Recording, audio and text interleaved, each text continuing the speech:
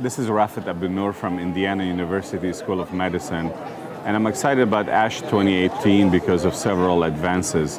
Um, the story with uh, BiTE, the bispecific T cell engager, I think is very exciting.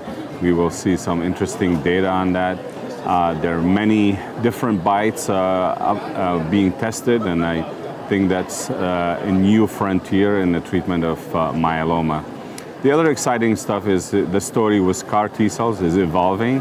I think we still need to know about uh, how to use CAR T cells, how to get a persistent response, and how to improve uh, the target uh, for these therapy.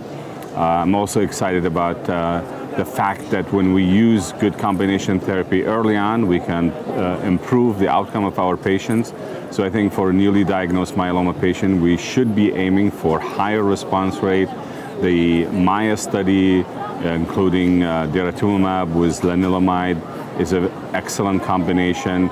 And we will hear more about also daratumumab and carfilzomib combination.